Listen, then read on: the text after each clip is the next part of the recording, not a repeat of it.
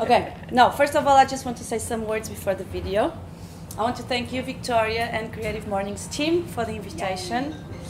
Uh, actually, when I first founded Village Underground, I invited Creative Mornings to make Creative Mornings in Village, and they said no because it only happened in Porto.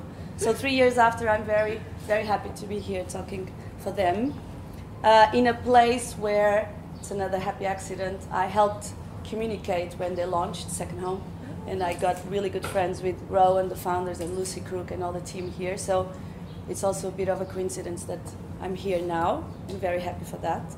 Uh, so my name is Mariana. Um, I'm the mother of three boys, and I'm the co-founder of Village Underground Lisboa, which is a co-working space for creative industries uh, inside uh, old shipping containers and double-decker buses in Alcântara. And it's also a um, cultural uh, venue for many kind of events, especially cultural events and parties, raves, and so on. Um, so I'm gonna ask you sorry for three, three things. First of all, I speak English, but my grammar sometimes is terrible, so sorry for that. Um, I'm gonna be reading a lot because I have three boys and my brain is lost somewhere. I cannot memorize two lines. And uh, about synchronization, this is not gonna work 100%, but we'll try. Um, so yeah, so I think now um, we're good for the video. The video is about our uh, third anniversary that happened last week. So this is brand new. I just posted on Facebook uh, yesterday. I hope you like it, and it explains a little bit what we do over there. Whoops. Technology. Technology. I told you. okay.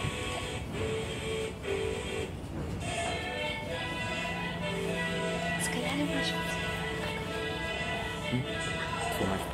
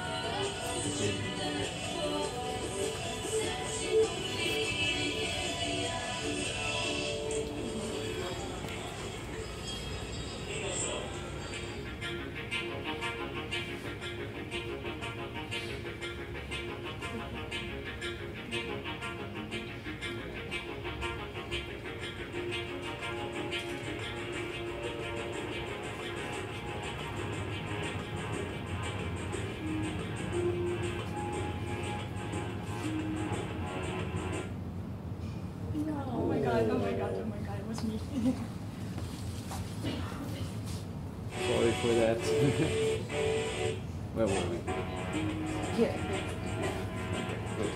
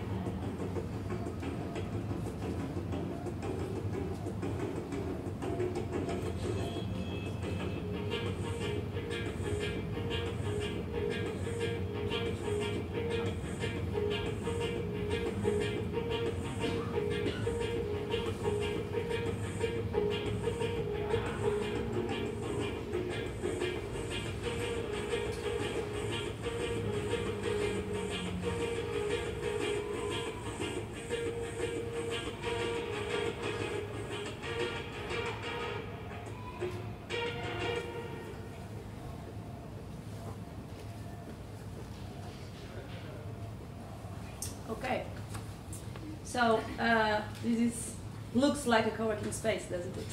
Yeah. but it's more like a, a party space. It's my background is to organize parties, and so I do it a lot in, in, in village. Otherwise, I wouldn't be happy doing what I do. Uh, so when Victoria invited me, um, I immediately said yes, but I had no clue what the word serendipity was. Uh, I only related it to my favorite movie uh, with one of my favorite actors, John Cusack. So I don't, I didn't really know, but I accepted. And then I, uh, as everything I do, I just keep thinking about it every day, from when I wake up to when I go to bed, and I don't do anything about it. I just, I just think about it, but I don't do, I don't take any action until the very last 24 hours before the talk. And so I start WhatsApping people like my husband. Um, hey, Gu, what about serendipity? What can I say in a talk? And he replied like, about what? he didn't even know the word. So okay, I'm, I'm, I'm, it's not good. So I posted on Facebook, hey peeps, anyone got any tips about serendipity? Not one comment, not one like. So okay, so London friends, Paul Bay, a guy that I really admire and who I had the pleasure to work in London. Uh, hey Paul, any tips on serendipity? You're the master of talks, come on, help me out. Um, and he gave me actually he gave me some direction. So light and uh, and he spoke to me about serendipity is the opposite of predict- predictability, which I already knew. we get comfortable with routine, so we will condition ourselves not to see the happy accidents when they come along. I get it. We see opportunities where others see problems. We thus make connections that others don't. And connections that uh, normal thinking doesn't make, so it can uncover wrong assumptions in life. So, okay, so now I know a little bit more serendipity and how will I connect it to Village Underground and why is it relevant for me to speak about the subject. Uh, and then Victoria told me one thing don't worry because you are serendipity. And I was very, very confused about it. Not me, you were mentioning like Village Underground, so okay. Uh, so now I know um, what the word means um, and I, I start thinking, so, okay, but why me? And uh, why am I here? Because of serendipity, because my father just got divorced and he met my mother who just got a job in ooh, just got a job, a new job in his building, and then they met in the elevator, they fall in love, and they produced me. So that's serendipity, right? I guess. Or destiny, I don't know. This really uh, made me think a lot, and um, I thank you for that, Victoria. Uh, so, and, and another thing that happened in my life uh, that was maybe what changed my life was another fact of serendipity was that when I was decided to move to London in 2007, I uh, London had like many, many, many job offers. This was before the crisis, and I went to 30 job interviews around London that you know is big.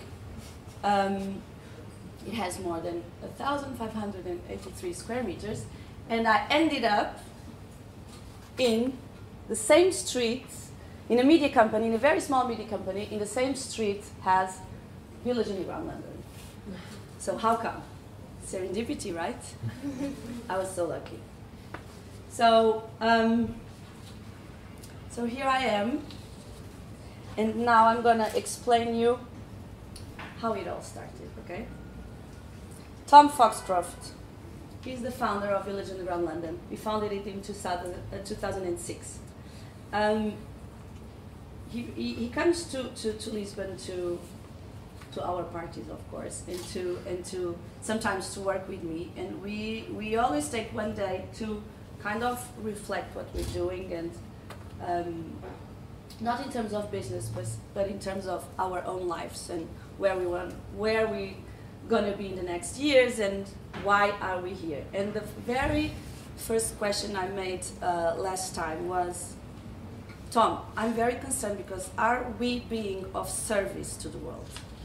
Because we are not actually saving the world, but we are doing something special, I thought. And he replied to me, and I'm quoting him now People are either contributors or extractors. We, Tom and I, contribute to the pot, the big communal pot of our society. We put lots into it. And on the other side, there are people with ways of working that extract from our shared social pot. That, that is what we are not. And you only have to stop for a moment to realize how valuable our contribution is. Imagine a world without art, literature, film, or music. No dancing, no poetry, no places for shared euphoric experience, no moments of life changing inspiration. It's not a world that anyone would want to, no world to hand down to our children. And us, we are working and contributing to that better, more beautiful world. And so I relaxed a bit, and uh, and uh, I felt I felt good about what we are doing. Um, and now I want to go back to 2007 uh, when I met this guy. So um, I moved to London in 2007, got a job in a media company uh, in Shoreditch, and every day passed this weird scenario of four old tube carriages and thought, what the hell? So one day a friend said that she knew the owner and that we should got an office space inside. So I quit my media company job from 9 to 6 and I joined Joanna in a tube carriage uh, and I started producing, my, uh, creating my own um, music management company called Madame. Um, so the minute we arrived, I got a very strange feeling that somehow that place would change my life. And it did. So I spent 18 months there working. This place I was working was called Village Underground and had opened recently. Doesn't look good, but it is beautiful. You can see the beauty in the in here, if you can feel it. My office was as cold as being working outdoors, literally. There was no heating, and the wind and snow sometimes entered the carriage. At one point, I had to buy two heaters and work with gloves and a scarf. My friend just left, she quit. She couldn't handle it, but I kept going. I also bought my office chair from a secondhand shop and carried it with me in the bus, thinking I was moving to the coolest office space ever. And actually, I was. So, in this tube carriage, while I was working, putting on parties both in London and Lisbon, and bringing new music talent to, to London, I met Tom, the founder and the mastermind behind all of this. Behind all of this. So one day I asked him, "What if we do Village Underground in Lisboa?" He thought for a second and he said, "Let's do it."